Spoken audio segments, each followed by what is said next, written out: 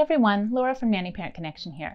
Welcome back to my video series, Working with a Nanny from A to Z. So far in this series, we've covered everything from is a nanny right to your family to tips for interviewing your nanny. Today, in episode 9, we will cover everything you need to know about the nanny contract. So, why is it important to have a nanny contract? The main reason is to outline the details of the working agreement so that there is no misunderstanding of the day to day workings between the nanny and the family. It also offers protections for the family to ensure that nanny care is being provided in the way that they would like. It offers protections to the nanny to make sure they know what to expect for the position. And lastly, it helps to shape the parameters of the position for both the family and the nanny. Many families choose to pay their nannies under the table, and as such, they don't work with a contract. I do always recommend a contract just so everyone has a really clear understanding of all of the parameters of the position. If you're someone who is not paying your nanny legally, make sure to check out the links in the description below and watch the video about what can happen if you don't pay your nanny legally. And of course, before starting on any contract, you will want to familiarize yourself with any of the federal, state, and local laws pertaining to nanny care and becoming a domestic employer. If you happen to live in Washington State, Nanny Parent Connection has a fantastic contract that was developed by a lawyer that's available to you. It's very comprehensive and easy to follow, and it's available on our website for $59. Please check out the links in the description below if you would like to take a look at the nanny contract available from Nanny Parent Connection. If you are not in Washington State, you can, of course, familiarize yourself with the federal, state, and local laws pertaining to employing a nanny, and you can put together your own contract. But in this case, just make sure you're following the letter of the law. You could also choose to hire an attorney to put together a nanny contract for you.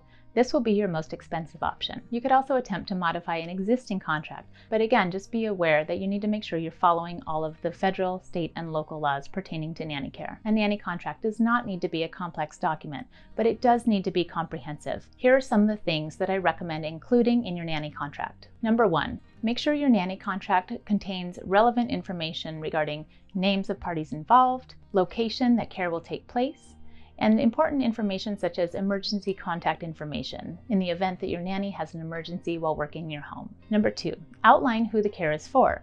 Be sure to include the names of the children and their ages. Number three, if there are any regular transportation needs, such as drop offs and pickups for school, make sure to include the address of the location as well as the times and dates those pickups and drop offs might be needed. Number four, write out a schedule that care is to happen each week.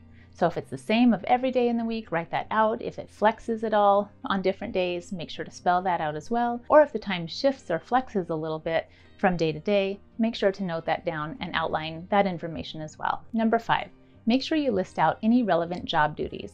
So if it's strictly nanny care, the nanny will be responsible for only child care duties. Make sure you list all those out. That can include things like laundry for the baby, washing bottles, taking out the diaper trash if that's needed, restocking diaper supplies, in addition to general care, feeding, daily tidying of spaces used throughout the day, that sort of thing.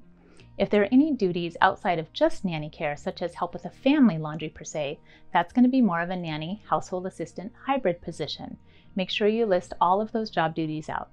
Keep in mind that any additional job duties outside of just childcare may warrant a bump in pay as well. So just be prepared if you want some additional help inside your home that is not strictly nanny care, but maybe help with the laundry or meal prep, that may cost you several dollars per hour more. Outline the job duties is very necessary because it's going to help to avoid any confusion or hurt feelings down the road.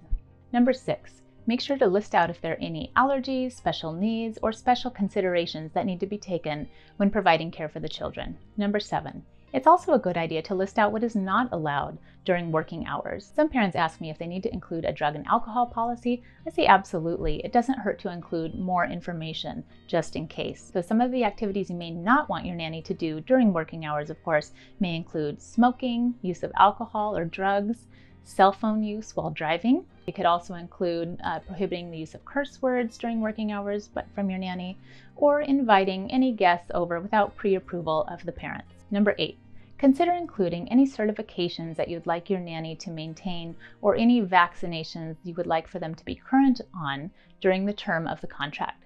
This could include things like being up to date with all recommended vaccinations. If there are any special vaccinations, such as the COVID 19 vaccination, make sure you include that. This could also be something like maintaining their CPR first aid certification and keeping that current during the term of the employment. Number nine, make sure you have a sick policy. Figure out what everyone is comfortable with and write down your plan. In particular, you will want to have a COVID 19 plan. Think about what might happen if the nanny or the family travels.